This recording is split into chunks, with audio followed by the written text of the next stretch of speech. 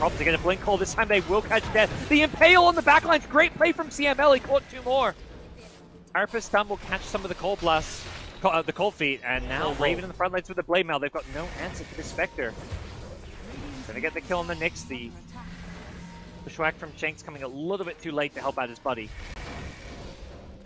Full on retreat as Axe. Like Raven's in there.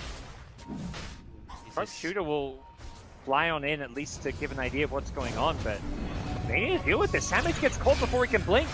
He's going to get coiled. They get a two-man coil again as Mac looks to rotate, and turn this one around. He misses the split earth, unfortunately. He Jabs. He's in, trying to get the hell out of here. Gets stunned up. Will not escape himself. The Venomans are going to throw out an ultimate before he gets blown up. This deleted. Yeah, Lesh doing a lot of damage. Meanwhile, the PA has BKB back up. What can Tino do? May just have to go for a BKB TP play. Can he fight? Blinks to the high ground, trying to hold on to his BKB. Shanks gets a bushwhack off on the puck. Glimmer Cape is there to protect the puck from any kind of aggression. And this could just be Fnatic securing Rosh. Somehow DJ's Ice Blast managed to. There, CML. Uh, looking for DJ. He jukes him in the trees. Playing around will cancel the TP. And elsewhere, Venom's getting caught as well in the trees here. They throw out the Ice Blast. DJ should be going down. The question is, can Omega get more? It's Death who's looking to turn and go on Shanks here. Death getting an Aeon Disc that's being procced immediately. Sam H slows him down with the Battle Hunger. Here comes the Spectre Horde. Tino's already jumped in and killed off one. Can they get more? They jump in, throw out the coil here. Mac gonna turn with his BKB. Look to just hold his ground, gets the hell out of there actually. Raven chasing once more with the magnetized damage. Tino, he doesn't have a BKB. He needs a blink target, gets away to the left strike. Is it gonna be enough here? The splitter is gonna stop the Spectre from chasing much further. PA getting low, gonna go down. The buybacks from the Omega side. They want to punish Fnatic's aggression. They need to kill this Spectre. But Spectre is just destroying them. Raven, I think he knows it's at least the end of his ages, so he's gonna do as much damage as he can. Sam H will dunk him, and now Jab's running in, trying to set up some more. Needs to be careful, needs a rolling boulder out. The Impale going to stop it with the Bushwhack. He gets caught to a tree. Mana burn, so there's, well, maybe an escape with the Magic Wand.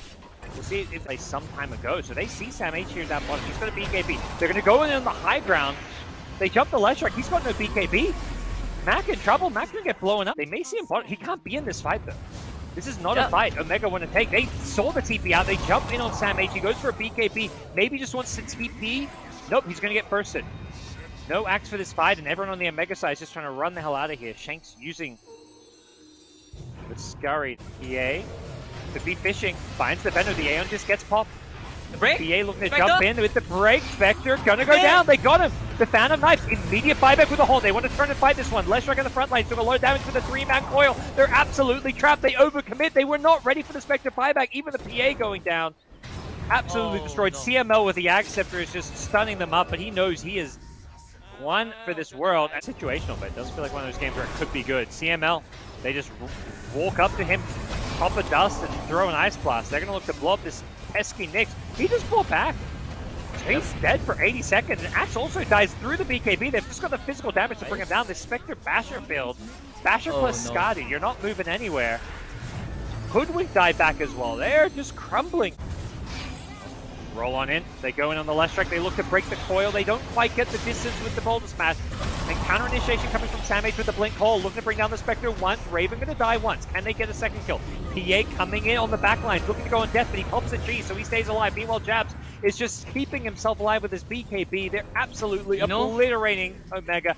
Tino goes down. He's got a buyback, which he may. We've seen them come back in game number two. Not sure they can do it again. Oh, Shanks Shanks, TPs in, no! instantly gets stunned. They saw him coming. Oh no. Things going from bad to worse here as Omega doing everything they can to try and hold the high ground, but I just don't think it's enough. Tino cannot afford to die here. He's going in, gonna kill the Venom, but if he dies, he's got no buyback. He's got no BKB. Oh! The TP. Ooh. Okay.